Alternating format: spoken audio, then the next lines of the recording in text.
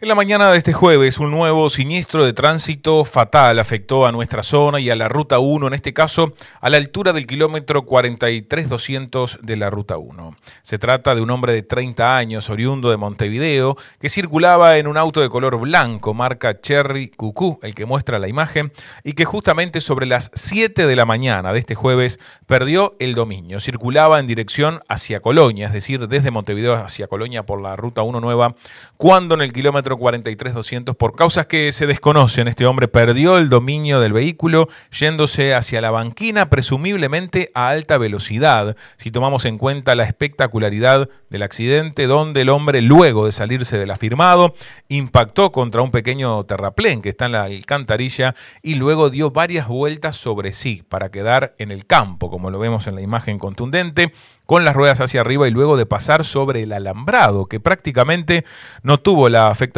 de este vehículo que terminó, como decíamos, en el campo. El hombre de 30 años falleció en el acto a causa de las lesiones recibidas porque fue despedido del vehículo, presumiblemente se manejaba que iba sin cinturón de seguridad y que, bueno, justamente fue despedido del vehículo y su cuerpo sin vida estaba a unos 25 metros justamente de este pequeño automóvil que protagonizó esta mañana un nuevo siniestro de tránsito fatal, en este caso a la altura del kilómetro 43-200 de la Ruta 1. Se hizo presente en el lugar la justicia competente, como es habitual ante los casos de siniestros fatales, para certificar lo sucedido. Asimismo, intervino la seccional séptima de Libertad y Policía de Tránsito. Lamentablemente, un nuevo siniestro fatal, en este caso un hombre de 30 años, oriundo de Montevideo, falleció ante este espectacular accidente donde el vehículo en que circulaba perdió el dominio, se fue hacia la banquina, dio varias vueltas sobre sí